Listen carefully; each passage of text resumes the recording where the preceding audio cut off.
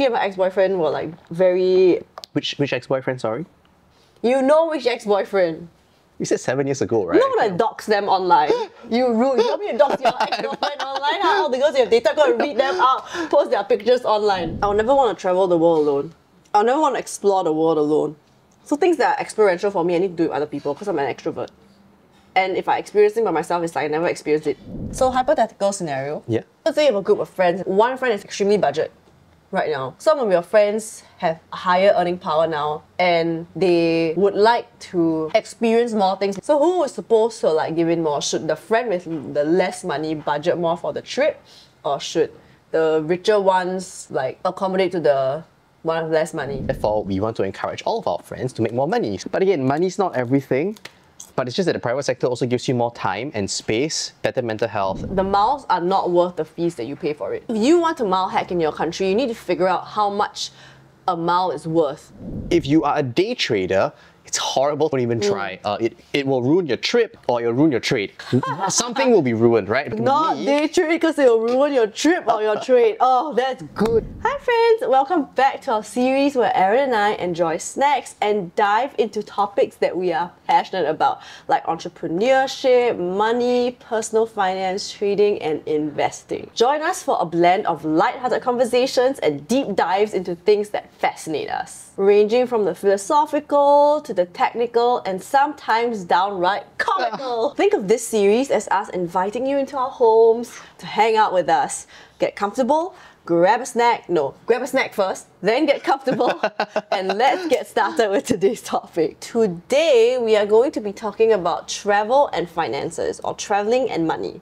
Because we are going to spend the next month overseas. We'll cover things like how to budget when traveling, how to manage money when traveling, how to make the most of your travels, like how to stretch your dollar. We'll also talk about our travel styles, Right. And, and like there's some things that I personally do as well. travel insurance as well. Everything related to money and travel we will talk about in this video. Let's talk about our travel styles first. So actually, my travel style is called extremely flexible because whether or not there's a very fixed itinerary or it is completely unplanned, I'm okay with both. I've gone to trips where it's completely unplanned, no place to stay. I landed there and just hoped that my friend had a had a place for me and had nothing else booked.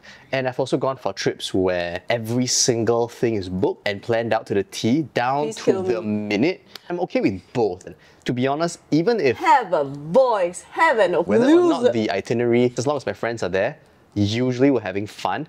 Oh yeah, if if the trip is extremely planned out, I will not have fun with my friends.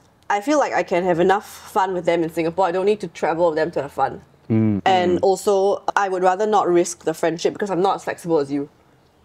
Right. I hate plans, and also like when it comes to money and things like that, it becomes very apparent when you travel how different your lifestyles are, and if you're not all aligned on that, you could there will always be some conflict. And when I was younger, I wouldn't say I experienced it, but I when I traveled with people who were older than me, some of my friends were older than me, they were already working while I was a student. But see the disparity between the people with different careers and how they want to manage their money and right. yeah. Maybe for you it's easier now because like I just graduated. All of Mm. my friends were all kind of in the same boat together. We all studied the same course. Kind of, Mm-hmm. most of them are all doing the same job. yeah. So we are all financially similar as well. Spending habits um, are also similar. Yeah. And so that makes it very, very easy. When I travel, I just want to spend time with my friends. And to me, that's more important. And so if I have friends who want to travel budget, I'll always travel budget because to me, being able to spend time with them is more important than, than like, I would say, comfort. I will These- spend time with my friends in Singapore. these are the things that would make it memorable as well. I still remember like the times in, in grad trip as well. We actually booked this, I don't know, it's like this like tennis, this squash court place, and it's just like a room with like 10 beds. Just all like check ourselves inside, and there's no space and everything. Um, but we still had fun. And like those memories are, are just like very precious to me. Yeah. That was what made it exceptionally fun. There's also a lot more budget, right? Like your trip was a lot more budget. Yeah. You didn't spend that much money. As you grow older, it starts to become more and more expensive because we're more and more like in tune with the luxuries of life and no one wants to like travel and Scoot for eight hours anymore. Trips become more and more expensive. So then if to me what matters is spending time with my friends, I'd rather spend the time the time in Singapore where it's much cheaper. It was for me to experience a different place and do things that I specifically like in those places. then I rather use my money on that instead of squeezing all of that in one. so I I was so a too. budget gal all the way till I started work, and one of my best friends, most of my friends actually are a little bit older than me, like two to five years older than me, so they earn more than me. And ever since I started hanging out with them, my travel has gone from budget to middle middle ground. I don't take budget anymore, but I also don't really take premium economy or business. I always take economy, but I'll always be a full carrier like SQ. For me, I don't stay in hostels ever, I, and I don't backpack at all. I backpacked once with an ex-boyfriend who really enjoyed backpacking, Uh huh. and um, Which ex-boyfriend? so I, I lost count. Oh, you know very well which ex-boyfriend. I'm just putting it out there. You have many ex-boyfriends. Red flag right here. Don't even think about it. I'm glad that I experienced it, but will probably never want to do it again. It's not my thing. I like the spontaneity of it. So Uh-huh. the way he backpacks is that he would book a one-way flight. They always fly to somewhere in Southeast Asia, like Philippines or Vietnam. He would not book accommodation, so we'll get there and then we'll be like, oh, which hostel do we stay in now? Walk in, see if they have a room, and then we'll only book the accommodation for like one or two days. And then whenever we feel like it, we'll fly to somewhere else, take a boat somewhere else, because it's very cheap anyway in those countries. Uh-huh. And the spontaneity of everything, not having plans. That was actually my first experience with not having plans on a trip.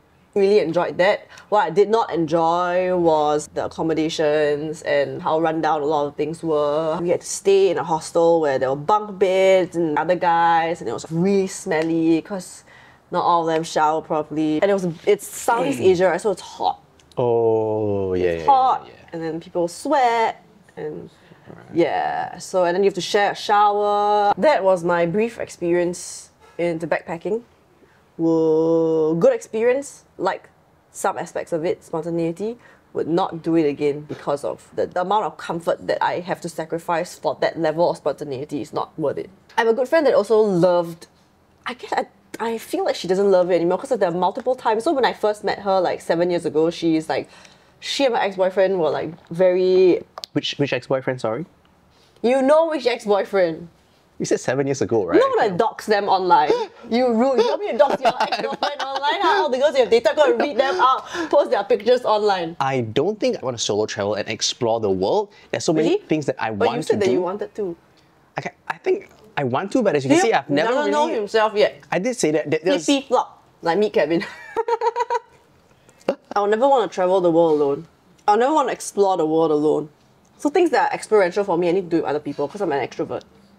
And if I experience things by myself, it's like I never experienced it. if I'm going to explore the world, I would actually prefer to do it alone. I will, I will uh, accompany you. I'll be there. You're not going to be Every there. Nope. every place you're trying to explore, I'll be like, hi. Nope, you're not going to be there. Nobody asked you to follow me. Get lost. So now let's talk a little bit more about how we budget when traveling and what is your budgeting strategy. So we've kind of established that we both have very different type of budgeting styles and both very different requirements for traveling. So how do you budget for your travel? I always budget beforehand. So I always, for I have very bad self control, as you know. Mm-hmm. Yes, So I know it very well. So I always set a budget beforehand. I try to estimate because the thing is that usually when I whenever I travel nowadays, it's easy for me to budget because I know that I'll shop, I know that I'll spend money on food, some experiences, and I don't really have plans. Hmm. So it's easier for me to budget as well, or maybe more difficult. I don't know. If I exceed my budget, I can just not do anything after that. You know, like there are no plans, so I can just chill accordingly. But I usually budget beforehand. For example, if like I'm going for five days, I can be like, oh, I have a five hundred dollar budget for the five days. And then if I exceed that on day four, then day five, I'll just make sure to. Oh, so you have a budget for every single day? No, it it depends on, on the trip and how I want to budget it, right? So, for example, like Tomorrowland trip, I already have a budget written out for how much I want to spend in Tomorrowland itself, and then pre Tomorrowland when I'm in uh, Lille for two days, and then when I'm in London for the next week, how much I estimate myself spending, and I split it according to the country sometimes, split it according to the day, sometimes it's just the whole trip it really depends on the trip who I'm traveling with. So if it's mostly myself, it's much easier to control. Because I can just be like, oh, today I'll just stay in a hotel room and write scripts and work. And if I'm with friends, I'm like, oh, but right, we are here, we want to do this, we want to do that. So then it's harder. Hmm. And if I travel with my boyfriend, I can just sit in a hotel room. That is Oh, free right. because he paid for it for work. And I can just work there and then I won't waste any money. For me, when I travel, to be honest, I don't really set a budget because I just tend not to spend a lot of money even when I travel. Your trips are already planned out, so it's also easy to estimate how much money you will spend, right? Because you know Yeah. exactly what you're doing at every single point. Yeah, so for my recent uh, China trip, almost everything was kind of planned out, so we already know. Um, it's only when we go to a tea shop and I really want to get certain teas, then um, I'll spend money there. Otherwise, it's more or less kind of fixed. I'm not someone who likes souvenirs as well. I care more about photos, and thankfully, I have a very nice camera. When I take photos, uh, it doesn't cost me anything more. I've already spent all the money on the camera and the lens. All of our money, On the camera and the lens for and I, he hasn't even taken a photo of me yet. who wants to take a photo of this ugly little piece We'll of return. Oh, don't worry, Aaron. I will just take the money. I'll pay myself. Your camera.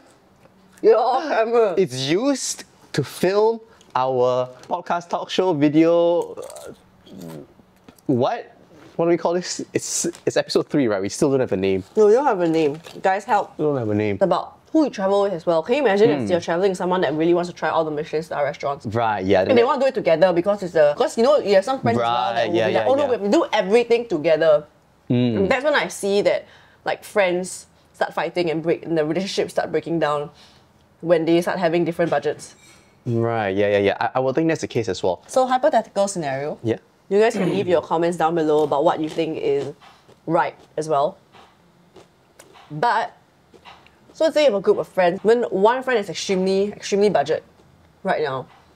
But let's say you guys are traveling somewhere like like a grad trip, maybe you got traveling somewhere like Australia, where it's mm-hmm. like about 800 bucks for a plane ticket, right? Yeah. And then some of your friends have started their like, oh, they're no longer physios or they're still physios, but they're working in private and they're earning a lot more money. Some of your friends have a higher earning power now and they would like to experience more things because they already paid $800 plane ticket to go to Australia. They want to go and like visit wineries, they want to pet some kangaroos, but all that costs money. So who is supposed to like give in more? Should the friend with the less money budget more for the trip, or should the richer ones like accommodate to the one with less money? One with money has to accommodate to the one with less money. Because the one with less money cannot physically accommodate to the one with more money. I think it's the principle of why you are going for the trip. If you're going for the trip to experience things with friends versus you are traveling with your friends to experience things. If you want to travel as a group of friends to experience things together, we have no choice but to accommodate to the person with the lowest budget, or we all chip in to, to help him out, which we might do, even for this trip as well. We all just want to chip in because True friends, right there. we want to have our friend there with us. Because again, friends, we're traveling there for the friends and we want to experience something new, something novel. There's no point in experiencing something novel, the friend isn't there. Therefore, we want to encourage all of our friends to make more money. But again, money's not everything.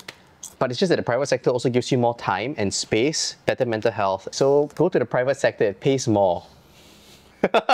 Another hack that I use when traveling to spend less is that I use it's called YouTrip in Singapore, but I'm sure in other countries you guys have cards that are similar. I think like Wise International. But basically travel cards that have low or zero FX fees. And usually those cards are like wallet cards, so they're not credit cards.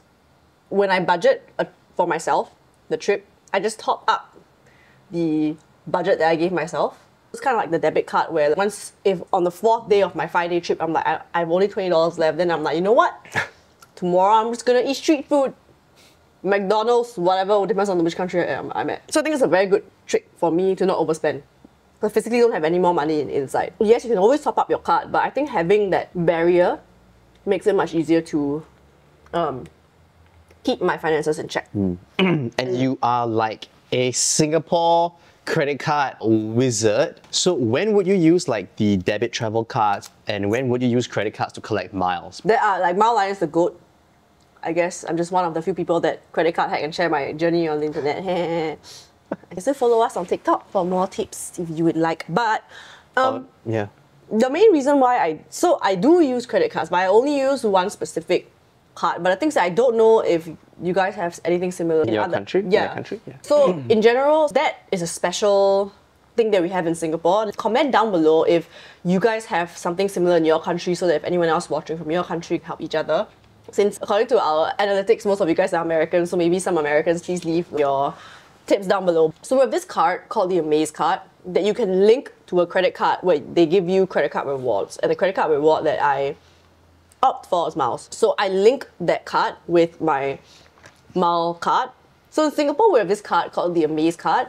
It's a, a low FX card as well, but instead of it being a wallet card like most cards, what it does is that when you tap your card, for example, if something costs like 5 USD in the card itself, it will convert the USD into an SGD transaction and it will mm-hmm. charge $7 Singapore dollars to the credit card linked to the Amaze card. So it brings down the FX rate. Yeah. Right. And you still get your credit card miles. Yes. It's like a win-win. It's a win-win, Oh, but pretty the FX rate is sometimes higher, like the like the the spread that they earn or Right, it is. yeah. It's higher than low FX, the actual travel cards like YouTrip or Wise and things like that, or Hmm. Revolut. So it's a little bit higher sometimes. I mean, it fluctuates a little bit. Many people's experience is that it ranges up and down. But the thing is that in Singapore, the card that is able to connect with that card has a one thousand dollar uh, cap. So I only use that for the first thousand dollar, and then I move on to my travel cards for any expenses that is above the first thousand dollars, if any. Uh, okay. Yeah, so that's okay, the that, that makes only, sense. Yeah, yeah. That's the yeah. literal only time I use my credit card when I'm traveling because FX rate is not worth it. The bank, in, at least in Singapore, so I'm not sure about other countries, right? But in Singapore, the bank FX rates are insane. The miles are not worth the fees that you pay for it. If you want to mile hack in your country, you need to figure out how much a mile is worth depending on the airline that you choose, right? So for us, it's Singapore Airlines, and you, you need to do calculations, or if there is someone in your country that is a mile hacking expert, hmm. they might have already done the calculations for you for specific airlines, how much a mile is worth. And that's when you decide whether you want to pay fees for it or not. Oh, interesting. I did not know that that was a very good strategy. I'm going to tell my fiance that so that we can. How can you not know? You never watch, you, you don't watch my videos? Well, you see, I see your face every single day. When I see your face on TikTok, I kind of scroll away. I'm not giving you any more tips. So now that you're gonna get your fiance to use these cards, right? Mm-hmm. And you'll probably also apply it in your own life. yeah. Some ways to earn extra miles would be like paying for your friends first. That's how I earn extra miles while I'm on the trip. So the thing is that spending is spending, and you should never use mile hacking as a reason to spend, right? But if you're already going to be spending, you want to be stretching your dollar, right? So how I mile hack or get the most out of my expenses would be like if I'm on a trip with my friends, I could buy stuff back from my friends and earn credit card miles from there. Especially when you have friends that are willing to pay the FX rates because they want something that they can't get in Singapore and it's still much cheaper after the FX rate. So for example, if, if you're going to Korea and there's a lot of skincare products and it's much cheaper there, even if you pay your bank credit card FX rates, it's still cheaper than buying in Singapore, for example. So your friends might be willing to pay the FX rate, cover the FX rates, and then you get the miles, but you bring that back for them for free. So it's a win-win. Your friend is giving you the miles, you're helping him bring it back. Yeah, so it's, it's, a win-win. it's totally a, a win-win. Yeah. Yeah. Makes so much sense. Yeah. So do that. Another another thing is you can always pay for stuff first. When traveling with your friends, pay for the meal first. Oh, and then yeah. another way is also pre-travel. You'll be the one that book accommodations and flights. I'm too lazy to do that. Yeah. But I mean depending on your lifestyle, maybe for you, if you don't travel that much, cashback could be better for you as well. Oh, the Amaze card works with cashback cards as well. And when mm. you got, if you guys are overseas, like honestly, it really depends on the value of a mile. So if for every dollar you spend, your mile is worth a lot less, then you might as well get cashback. So makes really, you really got to do the math and really figure out which is better for you. But if you're too lazy, just pick one. It's better than not doing anything because you're still at least stretching a dollar a little bit, even if it's not the most optimized. But if you have absolutely no self control, do not apply for a credit card. Never uh. get into credit card debt, Oh yeah, never get into credit card debt. It's it's it's the fees are so high. Yeah. it's, it's crazy. especially you Americans, because that's where Mm, the data mm. comes from. Credit card debt is at all time high now. I saw that as well, which surprised me because, uh, to be honest, in Singa- in Singapore at least, at least the people that I know, no one has I credit know, card debt. I know people with credit card debt. Oh, you do. Don't know if the credit card debt is still there, but yes, people actually do. I think it's because we grew up in a family where we were taught to not get into credit card debt. Yeah, but Maybe that's why. I think some people they don't know as much, right? Financial literacy is not taught. Financial education is not taught in school. So and with regards to financial education and things like that, basically about keeping yourself safe, right? Yeah. Travel insurance. What do you think about travel insurance? Is it a must or want or need or maybe have? In my opinion, travel insurance is already so cheap.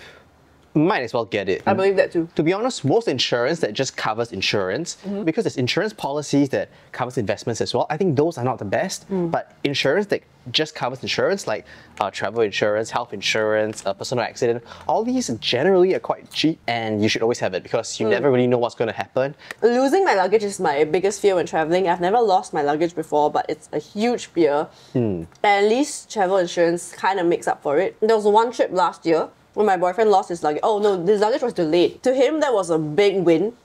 He was there for a work trip. So on the first day there, we basically managed to buy a bunch of stuff. And the rest of the days, I was helping him shop as well. But everything is covered. He, basically got a whole new wardrobe free for the inconvenience. But that's a luggage that's delayed. Luggage that's lost. That'll be quite devastating, yeah, yeah. Yeah. So depending on what you have in your luggage, you better get an expensive coverage. Okay, I don't even have luxury bags. I only have one. Hmm. But aside from that one, which I don't bring when I travel, I don't bring like anything expensive with me when I travel. And if you are from Singapore and would like to buy some travel insurance, uh, we will link some below, just in case you need it. We have a family travel insurance that our parents pay for. It's a yearly travel insurance, so we don't have to buy it every single time we travel. But if you guys are someone that does not buy travel insurance when traveling and want to start now, you can use the links below. Lastly, when it comes to all you little nerds left on here that trade and invest, how do you manage your trading and investing when overseas? So I think first of all, you need an internet connection. Like that's number one. Number two, use the brokerage that has very good uh, mobile app. So I need to be able to access my trade, easily see it, and then execute. Which is why I like my trips to be really planned because I can just figure out when I have some free time. Like let, let's say we have a one-hour train journey. I know that's the time I can execute my trades. I know that's the time I can look at the stock market. I know that's when I I can execute. But I think if you are a day trader, it's horrible to do that while traveling. Don't even try. Uh, it, it will ruin your trip or it'll ruin your trade. Either one. Something will be ruined, right? But if you're a swing trader like Not me, day trade because it will ruin your trip or your trade. Oh, that's good. so swing trade, yes, absolutely. I do swing trades when I travel as well. I need to know exactly when's my take profit, when's my stop loss, and what are the adjustments. I write it down first and I see the notes, see the charts. If it matches, make the trade, take out the trade, modify the trade, and then get about my day. So it's really, really very precise. Okay, cool. I think that is the last thing on my list of questions. Thanks for watching, guys. Again, please help us come up with a name for this unscripted talk show thing or what a thingamajig, whatever it is. Uh, Whatever this is. Yep. Leave a comment, like, subscribe if you would like to watch our next few episodes. And leave us topic suggestions as well. Bye.